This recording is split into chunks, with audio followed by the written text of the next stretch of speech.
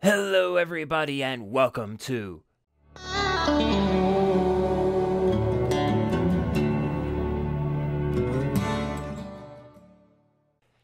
Damn, it's been a while. I've been. Well, I say busy is kind of an understatement of what I have been recently. Uh, I helped an office move that took three days. Uh, and then we were getting ready for Oktoberfest, and that took forever.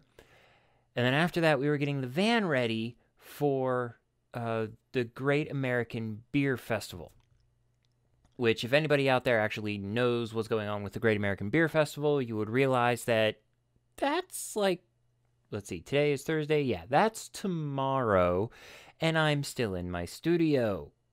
Now, there's a reason for that, and that is that I'm not going to the Great American Beer Fest which is perfectly fine. I have no problem with that whatsoever. Uh, I'd actually prefer to stay here, honestly.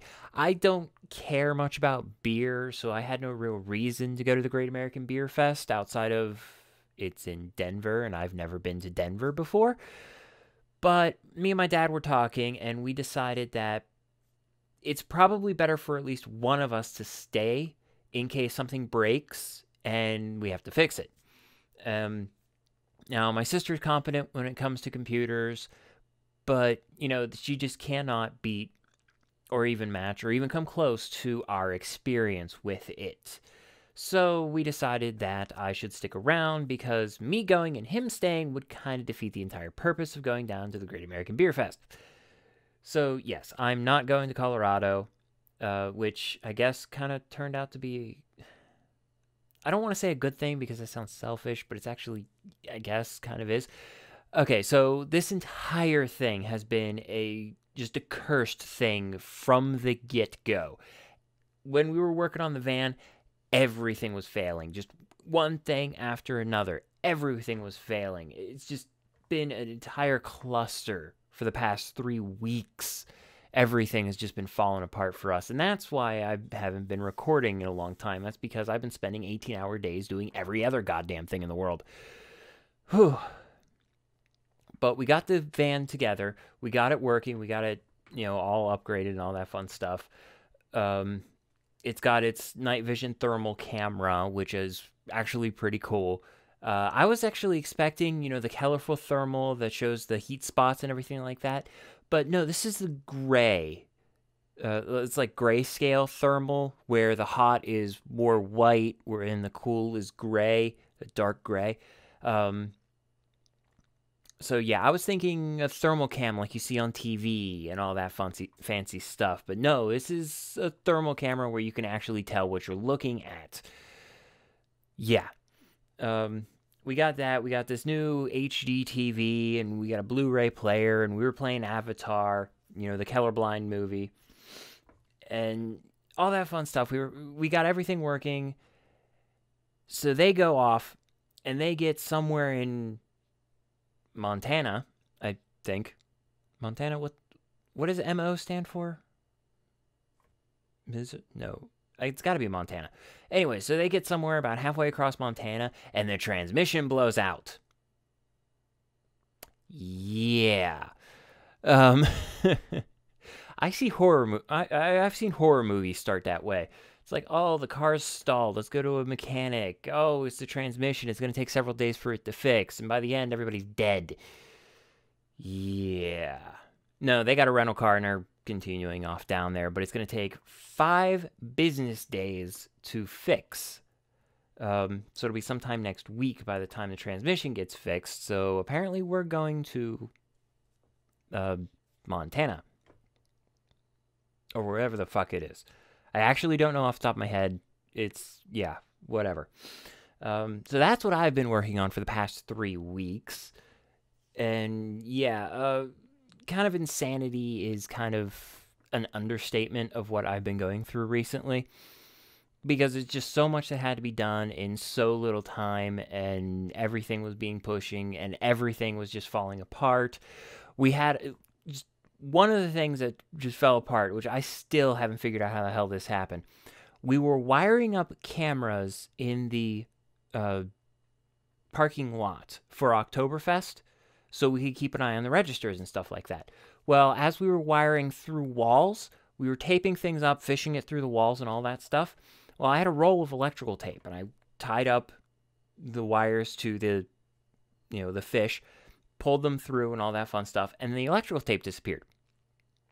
And I mean, completely disappeared. We tore apart that entire room. The roll of electrical tape is gone. Uh, I literally, I sat it down, did my thing, went down to get it again, gone and I'm looking through it, and I spend like 10 minutes just tearing the entire place apart. Gone. The electrical tape is just gone. We still haven't found it. It's been two weeks. We still cannot find this electrical tape. And that's just a very, very tiny, tiny fraction of what has completely failed in the past three weeks. It is absolutely horrifying how bad we've had it. Um, but I've been staying calm because I knew that when they went off to uh, the Great American Beer Fest, I'd have five days to myself. And I spent yesterday just kind of decompressing, I guess is the proper term for it, calming down, and the camera's going ape shit because of the lighting, and the house is a complete fucking mess. I'm not even joking when I say it. I have not been able to even try to clean this house for three weeks. So that's why the camera is this way, is because there's a pile of empty boxes from this improvised home security system that we set up for my dad, just in a giant ass pile where I normally put the camera over here. Um, yeah, that's another fun thing. so, yeah, but that's something I'll go over later because I don't know if saying anything about it would affect the security of what we're doing with it. And I know security through obscurity is a bad thing, but we aren't relying solely on security through obs- obscurity. So we can have obscurity as a layer of security. And yeah, so I'm just going to shut up about that for right now. Just like I'm not going to say anything about where my dad broke down just because it's layers of security. When that's all said and done, then I'll be able to talk about it, and you know, then I can go off on what drove me absolutely bonkers about that stuff. But yeah, um, so anyways, uh, after I did the office moving thing, crap, was that three weeks ago? Holy crap, that was three weeks ago. Ah, I've done so much in the time. But anyways, um, I got paid for doing that. 23 hours worth of work in three days. So a lot of work. So I got paid for doing that. And um, I had earmarked that stuff for a new gizmo, a new toy for me to play with. And I like toys and I like doing unboxing videos because the unboxing videos are fun. Uh, well, I got. Whoop, this. Yee. Yes, I know what it says right here, but this is a lie. This is not a Wii U. You know what this thing actually is? I'll tell you exactly what this thing actually is. This is Update Simulator 2015. I'm not kidding when I say this. I was, when I got this thing, I was going to do an unboxing video, the whole thing, the whole spiel, and all that fun crap. But I'm like, you know what? No. Yeah, I got to go to bed. I got to go to work tomorrow. I'll play a little bit of Mario Kart and go to bed, and then I'll do the unboxing video tomorrow. I'm like, all right, well, I pulled everything out, I set it up, I plugged it all in, and turned it on, put in the game, and hit play. And it said, update is required before you can play this game. I'm like, fucking DRM. Because that's exactly what it is. It's DRM. That, that's the only reason they force you to update before you can play a game is they're updating their DRM. You know, they're fucking over the paying customers instead of actually fucking over the pirates, you know. And just in case you're curious, yes, I actually fucking own Mario Kart, okay? I'm not a pirate here. Why do I have to update?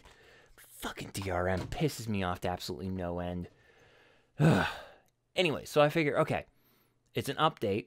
It shouldn't take that long. So fine update you know a couple minutes updates i mean the xbox i've had at uh, the xbox 360 i've had for years i think the longest update i've ever had with the 360 was a half an hour and that included downloading and updating well i figured okay Mario Kart is insisting on an update. That means the update is on the disc.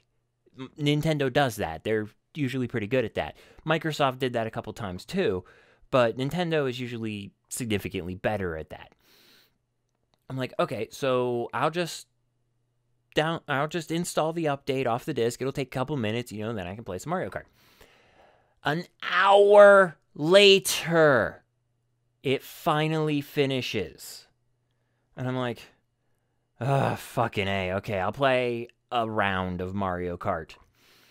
All right, so it insists on rebooting, so I rebooted it. And I went to play Mario Kart, and it says, update required. I'm like, but I just fucking did it. And then it started downloading another fucking update. I'm like, God fucking damn it. Oh, I was jacked. I was pissed off. I turned it off. I just went, turned it off and went to bed because I'm like, fuck this shit. I don't have time to deal with this crap. So I went to bed.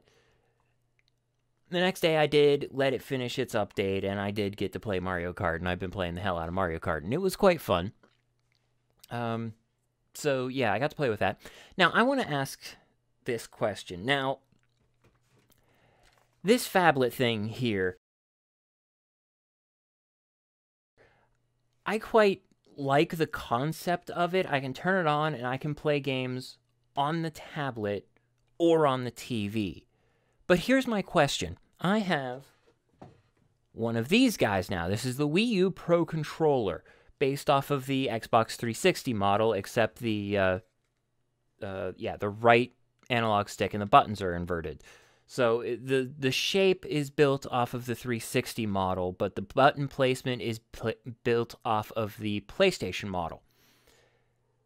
Okay, no arguments there. Um, you very rarely use this stick, as far as I can tell, anyways. So that's perfectly fine. I've got no arguments with that. Um, but this bastard insists on turning on. You cannot turn it off. The, the Wii U will not run without this thing. Which, you know what? I'm actually going to test that. I'm going to put this thing in the kitchen, which is more than far enough away. You know, that room right there, that's my bedroom. That's where I sleep. I'll take this thing into the bedroom and play a little Mario Kart before I go to bed every once in a great while. Uh, and it's uh, it barely gets signal there. And it's like, what, 15 feet, maybe 20 feet? So the kitchen would be more than far enough away. I should put this thing in the kitchen and then turn on the Wii U and see what happens, see if it bitches. Because this thing will bitch. It, obviously, it won't turn on. You know, it'll complain that it can't contact the Wii U without actually being in range of the Wii U. Though I seem to remember somebody something about Nintendo saying that that's supposed to be able to play independently, so you can take it on the road with you. You can play games that you download to the pad. I've seen nothing that can do that. So I don't know. But anyways, yeah, I've got to play with that. But my main question is, is there a way to turn that damn thing off when I'm not using it? I mean, if I'm using the Pro Controller and I'm playing on the TV, I don't need that thing. I really don't. It sits somewhere off that I'm not even looking at it. I mean, the charger is on a shelf way down there, that way, that I can't see from here at all. And that's the only spot that I really have where it's good to charge there. It's, it's the only open spot I have. So it's useless to me down there. So is there a way to turn that fucking thing off?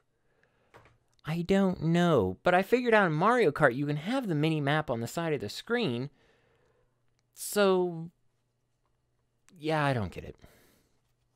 I don't know. Uh, so anyways, uh, what else did I do? Okay, yeah so yesterday, yeah, yesterday I pretty much did nothing, but I did go out. I had to get guinea pig food, so I went out, got guinea pig food. I went to Best Buy, and then I went to Sheetz to get my people food.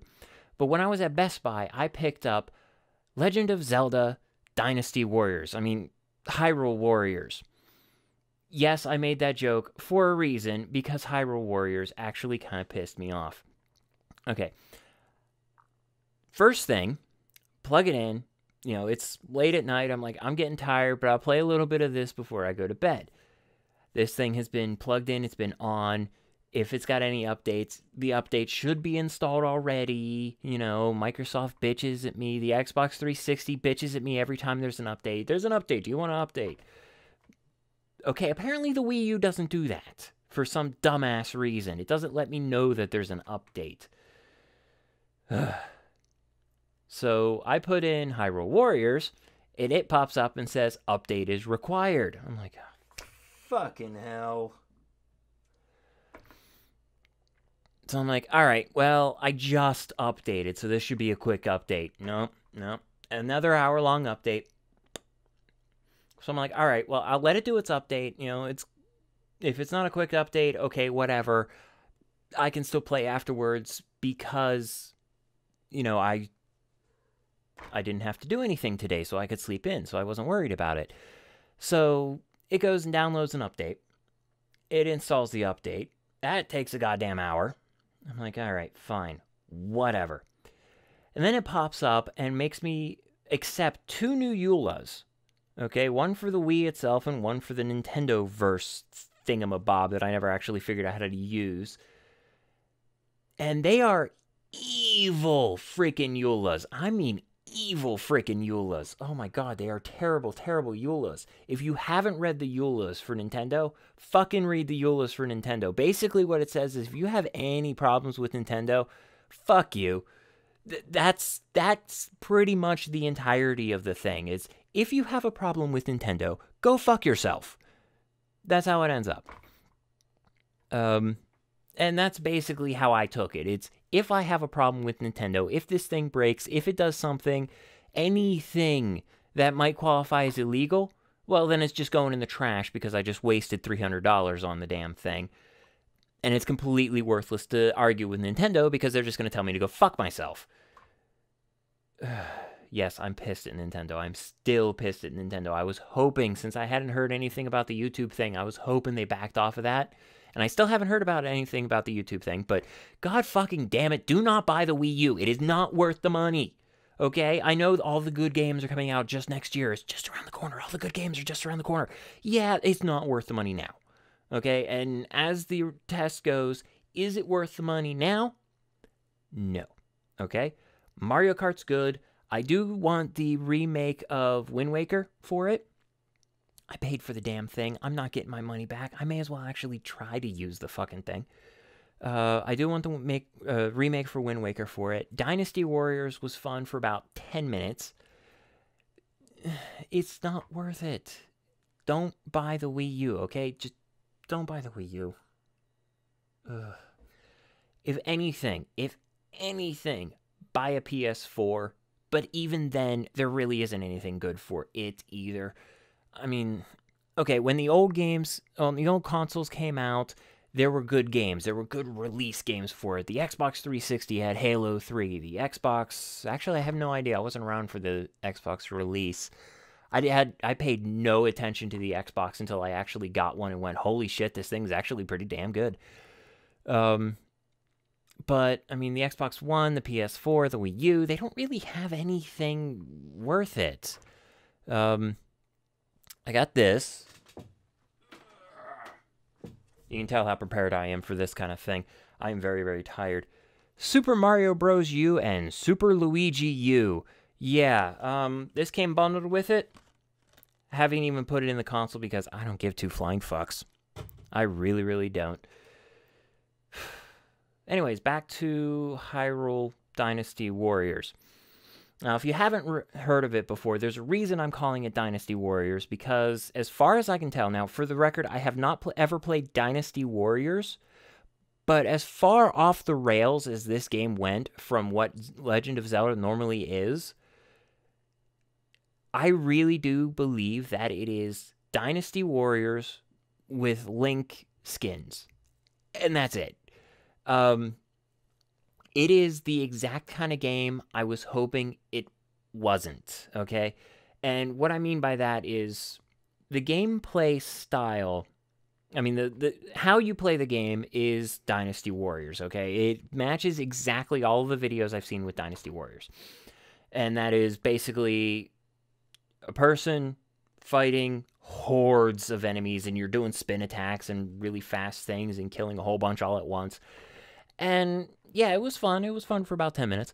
Um, but that's that's what it is. You get a little bit of story, then you get thrown into a fight and you fight for a little while, and then you get a little bit more story in a cutscene, and then you go throw get thrown into a fight and you fight for a little while, and it's the same thing over and over again. The the the, the different fights are exactly the same.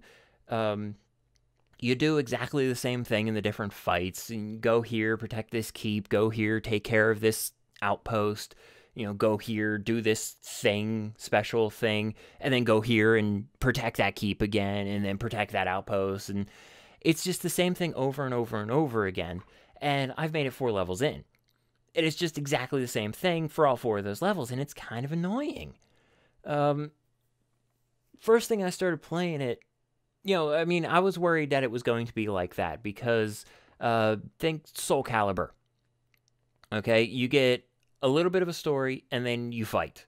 And then you get a little bit of story and you fight. And it's like two completely different things, the story and the fighting. They're just completely separate from each other. The story has no relevance on the fighting, the fighting has no relevance on the story outside of the fact that you get to the next piece of the story that's what the, that's what Hyrule Warriors is. You get a little piece of the story, and then you go off and play a game for a little while, and then some. You come back and you read, you know, play, get a little bit of the story. It's like if you're reading a book, you read a chapter, and then you go play Mario Kart, and then you come back and you read another chapter, and you go play Mario Kart. The two are unrelated, basically, and that actually kind of pissed me off. Legend of Zelda. Okay, so you could tell that there's a difference between the story and the gameplay in, Le- in Legend of Zelda. Like, say, if we take Ocarina of Time, you could tell that there was a difference between the story and the gameplay. There were definitely cutoff points and stuff like that, but it still felt like you were playing the story. Whereas uh, Hyrule Warriors, it feels like you're being told a story and then going off and playing a completely different game. And it's kind of disappointing and I was really, really depressed about it. Um, but when I first started playing it, you start out in, you know, the Hyrule Fields, out in front of the castle. And literally, you start out, you run out of the castle, and there's an army following you, and you go headlong into an army. And it is a really cool thing where you just come in and you just start swinging and killing everything. It is a really cool thing. I had a hell of a lot of fun with it and I was worried right off the bat that it was a, a, a real time strategy kind of game, and it kind of is, kind of, um, but it's not uh, like I feared. Like, um, oh damn it, what's that game called? Oh, I can never remember the title of this game. It's it's it's that game where it's the roadie, the big giant huge fucking roadie with a guitar that can kick everything's ass, and he has an axe, a literal axe. Um, and he's voiced by Jack Black. Uh, I can never remember the game. I, pl- I I played it and I enjoyed it. It's one of the few things I enjoy that actually has Jack Black in it. I, I quite dislike him as an actor. Uh, it's one of the few things with Jack Black I enjoyed up until it got to where it became a real time strategy game. I hated that because I couldn't play it properly because you're in the battle instead of over the battle. It's like, how am I supposed to tell everybody what to do if I can't see anything? I don't know where anybody is, so I have to go fly my ass the entire way across the field to go tell these people what to do. But in the time it took me to get from point A to point B, the people at point A fucked themselves.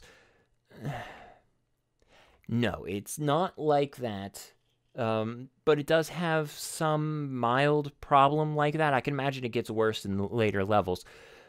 But what, it, like I said, you you go to a keep, you take over the keep, and then you go off to the next keep. But the first keep can be attacked.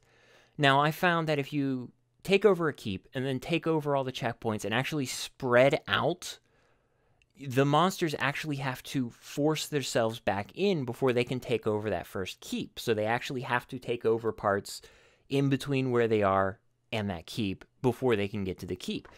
And I like that idea. They don't just magically show up somewhere. It's, you know, you're the whole field is blue, and then all of a sudden, way down in the corner where it's the most defended, monsters just magically appear. It doesn't do that. Now, don't get me wrong, monsters do magically appear, but there seems to be at least a level of sanity to it. So, you're a fighter in an army. You're not. You're not really leading the army. You're just kind of fighting alongside them it's really weird because it's not like you're part of the army and you're not leading the army. You're just kind of there with the army, even though technically you're a soldier in the army, but you're not following orders. I don't get it. it's weird, but it works. Um, and it's a really fun game up until you do it for the fourth time, and then it's kind of like, okay, who cares? So I started playing some of the other stuff. I wanted basically where you get thrown into an area and then you just kill everything. And it's just waves upon waves of things that you have to kill, and that's all it was. I was looking for that in the the different gameplay versions. Well, Legendary or Legend or whatever it's called, the first one is the storyline. The second one is free play, and I figured, okay, that's got to be what I'm looking for. Well, I go to free play, and basically what it is is you pick a level and you play that level again beginning to end, and that's it. That's all you do. I'm like, well, that's kind of disappointing. Though it was kind of funny. At the end of the first level, you get the legendary green tunic, the you know standard Link tunic. Um, but by that time, I already beaten level two, so I already had the green tunic. So they hand me the green tunic while I'm wearing the green tunic. It's kind of funny. Um, I thought that was interesting. Um, then I played adventure mode. And adventure mode the, the the picture it gives you to describe what the mode is. They don't describe what the mode is in text on the menu. They give you a picture of it.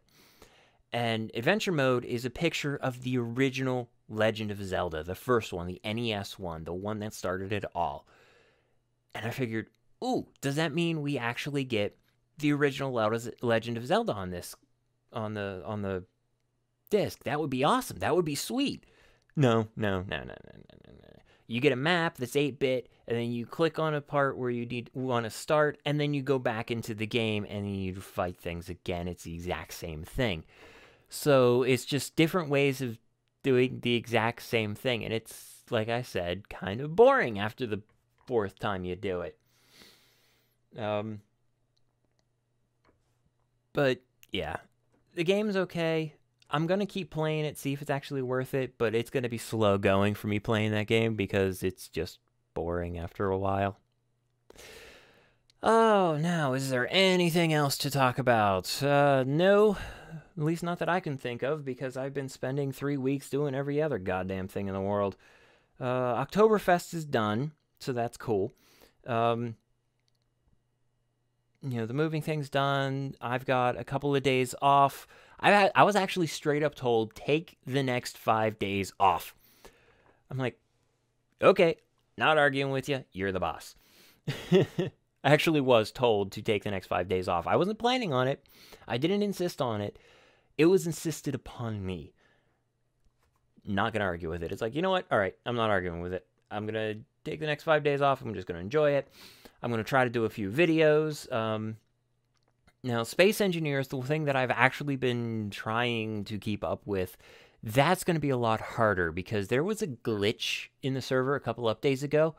And, uh, okay, so where did I leave off? We had captured the big honkin' military ship, the boss of Space Engineers.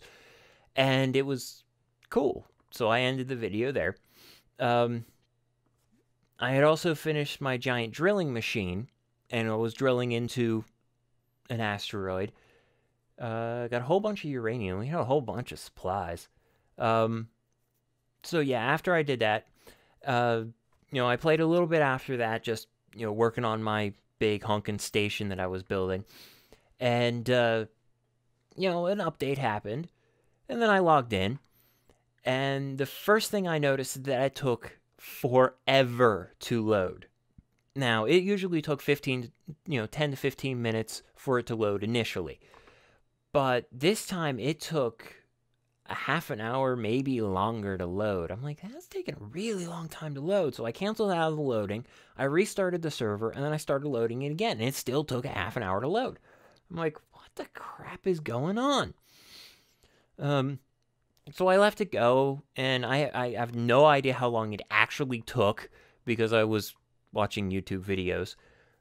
But it took forever to load. But when it finally loaded, and I was finally able to spawn in because I had problems even doing that. I it was hard to select, you know, the spawn points, and it, I couldn't click the spawn button. I had to, you know, use the arrow keys, go down and hit enter rapidly, and then it let me spawn. And then it was running at like 10 frames a second, and there were like thousands of AI ships everywhere. I'm like, what the fuck? So I closed everything down. I shut everything down because you can't play that game that way. So I shut everything down. Um, turn, shut down the server, started it back up again with AI ships turned off. Uh, logged back in, still took over half an hour. The AI ships were still there. So I'm like, frack. So I closed out my client and went, you know what? I'm just going to let the server run. I told it not to pause when nobody's logged in, so it's just going to run and maybe those AI ships will go away. Well, two to three days later, the AI ships were all still there. Uh, and yeah, so that didn't work. Um, and I was watching the AI ships, and they would creep forward like three meters and then jump back, and then creep forward three meters and then jump back. The server was overloaded. It was using 8 gig of RAM, and it maxed out at 8 gig of RAM, so I think it actually has a hard limit. It can't use more than that. Uh, but basically, what it was is those ships would never go away because they can't go away. They keep coming back. Uh, so yeah, that kind of sucks. So we had to scrap that server. We couldn't do anything about it. Uh, you know, it was a glitch. All those things, dis- all those things showed up, and we can't play the game that way. So we had to scrap the server, which sucks. But I started up another one, and this time we did it a little bit saner. I put up 20 asteroids instead of 100. Not nearly as cool, but, you know, it'll work. It'll be effective. Uh, DW has been playing with it. I haven't actually logged in yet. The next time I'll probably play is with DW, and, you know, we'll start all that again. Um, but yeah, there's that. Um, and that's about it. That's all I can think of right now. I'm still very tired from the past few weeks.